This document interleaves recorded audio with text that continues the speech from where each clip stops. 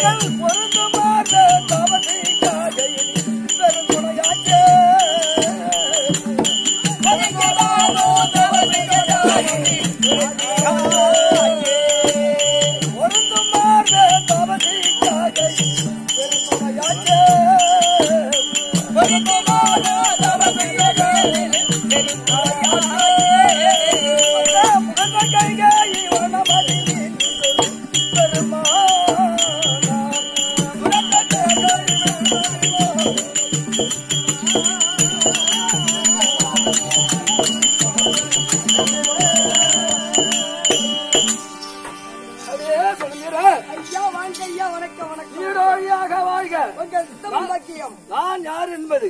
அவையோர்களுக்கு எடுத்து சொல்ல வேண்டும் ஆமா அதை கவனமாக நீ கேட்க. இப்பேர்விட சபையில. ஒத்தகம் மடியமாலை மாலை புண்ணியம் பொருத ஞானம் ஞானம். வித்தகம் தரித்த செங்கை. விமலையா அமலவெண்மை. வைத்தகோந்தர் வாரம். முதுமலம் கமலமேனி. கைத்தரும் கருக்கச் செவாய் ஆ. அந்த அடங்கல வணங்கி நின்று ஆ. அப்படின்னா என்ன? நாமகம் எடுத்த பிரமதேவனுடைய மனைவி ஆமா. சாரதாம்பாள் அம்மன் எங்க அமர்ந்து கொண்டிருக்கிறது? தாமர தட்டிலே. அந்த அம்மன் அமர்ந்து. கையிலே வீணை ஏந்தி. அல்லும் பகலும் அறுபது நாயகி நேரமும் கல்விகளை படித்தது ஆமா அந்த அம்மன் முடித்ததே கிடையாது. அந்த அம்மனாகிய சாரதாம்பா அம்மனை விட. நாம நாவலரும் அல்ல. அறிஞனரும் அல்ல இல்ல. கவிஞனரும் அல்ல புலவரும் கிடையாது. பேரு கெட்டியவார் ஆ. இந்த வேடம் தாங்கி இந்த சபையில வந்தேனே. நான் யார்? எப்பேர் பெற்றவர். என் பெயர் என்ன. தெரியுமா சொன்னால் தெரியும். ஐயா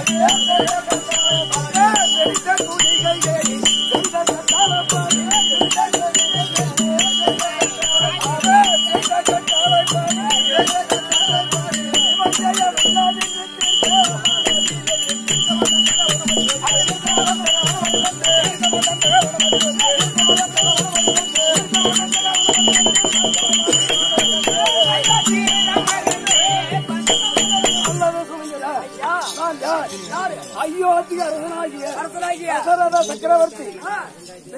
குழந்தை இல்லாமல் இல்லாமல் முனிவர் ஆமா வதிஷ்ட ஜனக ஜனககுமாரன் இவர்கள் சேர்ந்து பனிரெண்டு வருஷமாக யாகம் செய்தார்கள் யாகம் செய்தார்கள் அப்படி செய்கின்ற போது ஆ. கிரியதா யுகத்திலே ஏனே கசுவரை மடித்து சோமகன் மதியம் சொல்லக்கூடிய அரக்கரை மடித்து அரக்கரை ஓய்வு எடுத்து காரணத்திலே ஓய்வு எடுத்துக் கொண்டிருக்கிறேன் அந்த நேரத்தில் இவர்கள் எல்லாம் நவம் இருக்கின்றார்கள் செய்கிறார்கள் அந்த நேரத்திலே. பகவானாகிய நமோ நாராயணாக இருந்தவன். நான் மகானாகிய நமோ நாராயணன். சங்கு சக்கரம் சேஷன். நாங்கள் நான்கு பேர்களும் யாகத்தில் பிறந்தேன். அப்படி பிறந்து ஆ. அவிவாகங்களை எடுத்து ஆ. ஓசலா தேவிக்கு ஒரு பாகமும் ஒரு. சுபத்திரா தேவிக்கு ரெண்டு பாகமும். கைகேயம்மனுக்கு ஒரு பாகம் கொடுத்தார்கள் தாயாரின் கர்ப்பத்திலே நான்கு மனிதர்களாக பிறந்து. அப்படி நான்கு மனிதர்களை முதமையா பிறந்த ஸ்ரீ ராமபிரான் ராமபிரான் அப்படி ராமபிரானை பிறந்து. நாங்கள் ஐந்து வயது ஆனவுடன் விளையாடி கொண்டிருக்கிறேன். அந்த நேரத்திலே. ஓசி என்று சொல்லக்கூடிய விஸ்வாமத்திற்கு இடவு செய்த தாடகையை கொன்று கொன்ற தாடகையை கொண்டு சுபாகையை வதைத்து வதைத்து. ஆரிசன் என்பவன் பயந்து ஒளிந்து விட்டான் அப்படி அந்த தாடையை கொண்டு. ஜனகாபுரி செல்லும் வழியிலே. கல்லா கிடந்த கடந்த. அகலி என்று சொல்லக்கூடிய பெண்ணும் காலாவை தெரித்து தெரித்து. அக- அகலி என்று சொல்லக்கூடிய பெண்ணும் சாபத்தை தீர்த்து சென்று. யாரும் வளைக்க முடியாத திருப்புறத்தை அடித்த ஈசன் வில்லை வளைத்து ஒடித்திருந்து சீதாதேவியை திருமணம் செய்து வந்தேன் சீதாதேவி திருமணம் செய்து வந்து அயோத்தி வரும் வழியிலே பரசுராமன் எதிர்த்து என்னோட அமராயுத்தம் செய்தார். அப்பேருட பரசுராமனோடு எதிர்த்து அமராயுத்தம் செய்து அவரை எருவிட்டு அடக்கி அழித்து அவன் கையில இருக்கக்கூடிய இல்லாயுதங்களை பெற்று இல்லாயுதங்களை பெற்று அயோத்தி வந்த உடனே தந்தையாகிய தசரத சக்கரவர்த்தி எனக்கு முடிசூட்ட ஆரம்பித்தார். ஆமா. ஆரம்பித்த உடனே. பல அரசரிடத்தில் தெரிவித்து தெரிவித்து. பல விதமான பொருளை சேகரித்து சேகரித்த மந்தரம் என்னும் கூனியானவள் ஆமா. என் மீது பகை. பகை. பகை? எல்லைமிலே வந்து வீதியிலே விளையாடி கொண்டிருப்பேன். ஆமா. அயோத்தில எல்லோரும் நல்ல விதமாக நடப்பார்கள். கூலி மட்டும் கூடு முதுகுடம் பார்த்தேன் ஆ. எல்லோரும் நல்ல விதமாக நடக்க. இந்த கூனி மட்டும் கூடு கூடு முதுகுடம் வருகிறாளே. வருகிறாள். அப்படி இந்த கோபத்தினால் நெல்லை கழித்து. நான் சொல்லக்கூடிய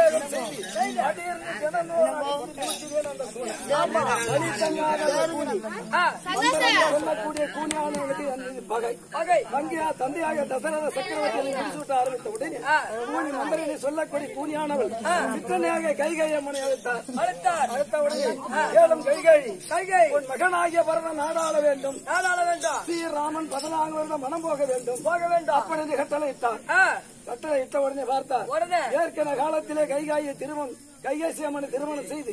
வனாந்தரம் வனவேடிக்கை பார்க்கும் அந்த ரதத்தின் அச்சியானது வெடிக்க. அந்த ரதம் அச்சு வெடிந்த உடனே வரதகரத்தை கொடுத்து ரதத்துக்கு அச்சு சாயாமல் தேர் சாயாமல் வரதகரத்தை கொடுத்து ரதம் ஓட்டியது. ஓட்டியது. கைகாய் அம்மன். ஆமா. அதனால் தசரத சக்கரவர்த்தி பார்த்தால் கைகாயி ஆ. இந்த அச்சுக்கு பதிலாக உடைய கரத்தை கொடுத்து. ஒரு கரத்தால் சாரதி ஓட்டினாயே. ஓட்டினாயே. என்ன வேண்டும்? என்ன வேண்டும்? அப்படின்னு கேட்ட போது எனக்கு ரெண்டு வர வேண்டும். கண்டு வர வேண்டும். ஏற்கனவே கேட்ட வரம்.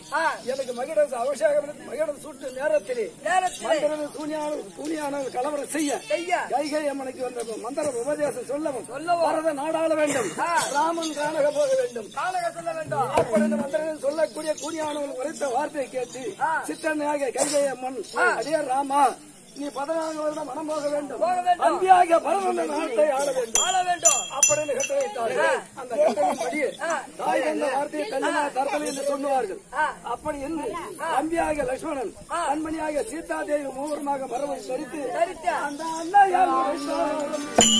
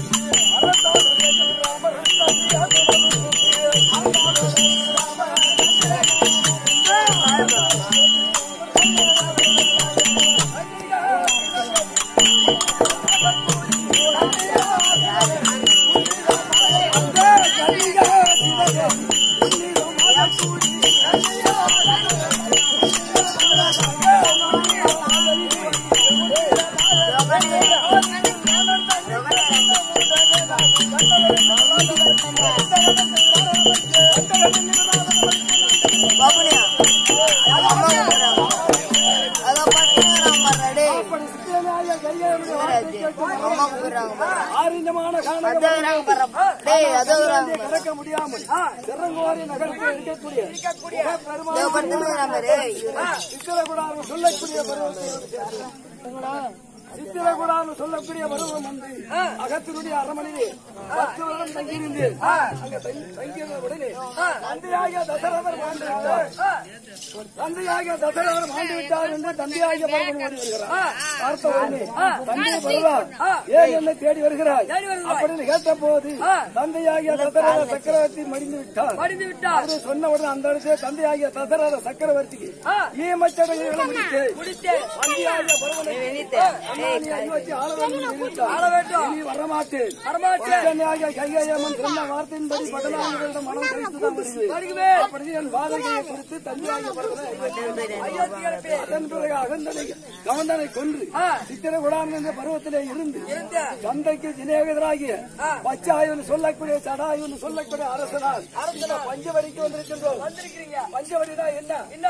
கங்கா யமுனா துகபத்திரா சரஸ்வதி சொல்லக்கூடிய. ஐந்து பஞ்ச நதிகளும் ஓடுகின்ற இந்த பஞ்சவடியிலே வந்திருக்கிறேன்.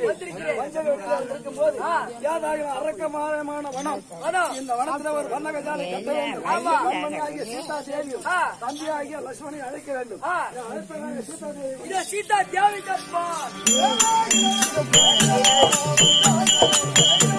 Thank you.